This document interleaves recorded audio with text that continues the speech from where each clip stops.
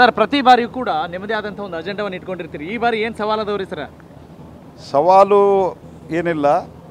ಸವಾಲಕ್ಕಿಂತ ಹೆಚ್ಚಾಗಿ ನಾವು ಮಾಡಿದ ಕೆಲಸಗಳನ್ನು ಕೊನೆಯ ವ್ಯಕ್ತಿವರೆಗೆ ಮುಟ್ಟಿಸೋದು ಸವ್, ನಮ್ಮ ಪಕ್ಷದ ಕಾರ್ಯಕರ್ತರಿಗೆ ನಾವು ಸವಾಲಾಗಿ ಸ್ವೀಕರಿಸಲಿಕ್ಕೆ ಹೇಳಿದ್ದೇವೆ.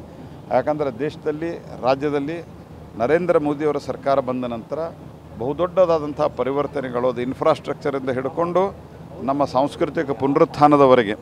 ಅರ್ಥಾತ್ ರಾಮ ಮಂದಿರವನ್ನು ಹಿಡಿದುಕೊಂಡು ರಸ್ತೆವರೆಗೆ, ಅದರ ರಸ್ತೆ ನಿರ್ಮಾಣದವರೆಗೆ, ಅದೇ ರೀತಿ ನಮ್ಮ ಜನರನ್ನು ಸಶಕ್ತೀಕರಣಗೊಳಿಸುವಂಥ ಒಂದು ಕಾರ್ಯದಲ್ಲಿ ನಮ್ಮ ಏನು ಕೆಲಸಗಳಾಗಿದೆ, ಇದು ಅಭೂತಪೂರ್ವವಾಗಿದೆ. ಈ ಅಭೂತಪೂರ್ವ ಕೆಲಸವನ್ನು ಜನರಿಗೆ ತಿಳಿಸೋದು ಜನರವರೆಗೆ ಮುಟ್ಟಿಸೋದು ನಮ್ಮ ಕಾರ್ಯಕರ್ತರಿಗೆ ಸವಾಲಿನ ರೂಪದಲ್ಲಿ ಸ್ವೀಕರಿಸಬೇಕು ಅನ್ನುವಂಥ ರಾಜ್ಯದಲ್ಲಿ ಕಾಂಗ್ರೆಸ್ ಸರ್ಕಾರ ಅಧಿಕಾರಕ್ಕೆ ಬಂದಿದೆ ವಿಧಾನಸಭೆ ಚುನಾವಣೆಯಲ್ಲಿ ಅಭೂತಪೂರ್ವ ಜಯಗಳಿಸಿದೆ ಹೀಗಿರುವಾಗ ಲೋಕಸಭಾ ಚುನಾವಣೆ ಮೇಲೆ ರಾಜ್ಯ ಸರ್ಕಾರದ ಅಭಿವೃದ್ಧಿ ಕಾರ್ಯಗಳು ಅಥವಾ ಪ್ಲಸ್ಸೋ ಮೈನಸ್ಸೋ ಅದನ್ನು ಹೇಗೆ ಸ್ವೀಕರಿಸ್ತಿರ್ತಾವೆ? ಮೊದಲೇದು ರಾಜ್ಯ ಸರ್ಕಾರ ಕಾರ್ಯನೇ ಮಾಡಿಲ್ಲ ಅಭಿವೃದ್ಧಿ ಕಾರ್ಯ ಮುಂದೆ. ಎರಡನೇದ್ದು ಹದಿನಾಲ್ಕರಲ್ಲಿ ಯಾರ ಸರ್ಕಾರ ಇತ್ತು ಹದಿಮೂರರಲ್ಲಿ ಯಾವ ಸರ್ಕಾರ ಬಂತು? ಜೆ ಡಿ ಎಸ್ ಕಾಂಗ್ರೆಸ್ ಆಗಲೂ ಕೂಡ ಬಿಜೆಪಿ ಹದಿಮೂರರಲ್ಲಿ. ಹತ್ತು ಕಾಂಗ್ರೆಸ್ ಯಾವ್ದು ಬಂದಿತ್ತು? ಜೆ ಡಿ ಎಸ್ ಕಾಂಗ್ರೆಸ್ ಸರ್ಕಾರ ಬಂದಿತ್ತು ಸಿದ್ದರಾಮಯ್ಯನವರು. ಎಷ್ಟು ಸೀಟ್ ಗೆದ್ರು?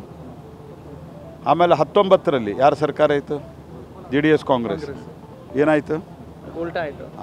ಅದೇ ರೀತಿ ಈ ಸರ್ತಿನೂ ಈ ಗ್ಯಾರಂಟಿಗಳು ಬಗ್ಗೆ ತಮ್ಮ ಅಭಿಪ್ರಾಯ ಪೂರ್ತಿ ಪೂರ್ತಿ ರಿಪ್ಲೈ ಇದೆ ಅದೇ ರೀತಿ ಈ ಸರ್ತಿ ಡಬಲ್ ಉಲ್ಟಾ ಆಗುತ್ತೆ ಅವ್ರು ಡಬಲ್ ಉಲ್ಟಾ ಆಗುತ್ತೆ. ಬರೋ ವಿಶ್ವಾಸದಲ್ಲಿದ್ದೀರಿ. ಆ, ಪಕ್ಷಾತೀತವಾಗಿ ದೇವೇಗೌಡರು ಕರ್ನಾಟಕದಲ್ಲಿ ಎಲ್ಲರೂ ಮೆಚ್ಚುವಂತ ನಾಯಕರು. ಈಗ ಅವರಿಗೆ ಬಿಜೆಪಿ ಜೊತೆಗೆ ಅವರ ಬಲ.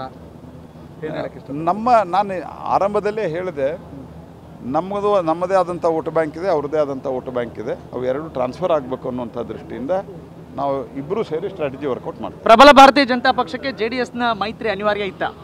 ನೋಡಿ ಇಡೀ ದೇಶದಲ್ಲಿ ಒಂದು ಸಮಗ್ರ ಬದಲಾವಣೆಯನ್ನು ತರಲಿಕ್ಕೆ ಎಲ್ಲ ಕಡೆ ನಾವು ಪ್ರಾದೇಶಿಕವಾದಂಥ ಭಾವನೆಗಳನ್ನು ಗೌರವಿಸ್ತೇ ರಾಷ್ಟ್ರೀಯ ಸಾರ್ವಭೌಮತ್ವವನ್ನು ಗೌರವಿಸುವಂಥ ಪಾರ್ಟಿ ಭಾರತೀಯ ಜನತಾ ಪಾರ್ಟಿ. ಹೀಗಾಗಿ ಅದನ್ನು ಗಮನದಲ್ಲಿಟ್ಟುಕೊಂಡು ನಾವು ಮಾಡಿದ್ದೀವಿ. ಇದು ಅಗತ್ಯ ಇತ್ತು ಅಗತ್ಯ ಇಲ್ಲ ಅನ್ನೋದಕ್ಕಿಂತ ಹೆಚ್ಚಾಗಿ ನಾವು ದೇಶದಲ್ಲಿ ಒಂದು ಸುಭದ್ರ ಸರ್ಕಾರವನ್ನು ರಚಿಸಿ ದೇಶವನ್ನು ಬರುವಂಥ ವರ್ಷಗಳಲ್ಲಿ ನಂಬರ್ ಒನ್ ದೇಶವನ್ನಾಗಿ ಮಾಡಬೇಕು ಅನ್ನುವಂಥ ದೃಷ್ಟಿಯಿಂದ ಇದು ಅಗತ್ಯ. ಇದೆ ಚುನಾವಣಾ ವಸ್ತು ಯಾವುದು ಸರ್? ಮುಂದಿನ ದಿನಗಳಲ್ಲಿ ಭಾರತವನ್ನು ನರೇಂದ್ರ ಮೋದಿಯವರ ನೇತೃತ್ವದಲ್ಲಿ ಭಾರತವನ್ನು ನಂಬರ್ ಒನ್ ಮಾಡಬೇಕು ಅನ್ನುವಂಥದ್ದು ಚುನಾವಣೆ agenda thank you sir thank you sir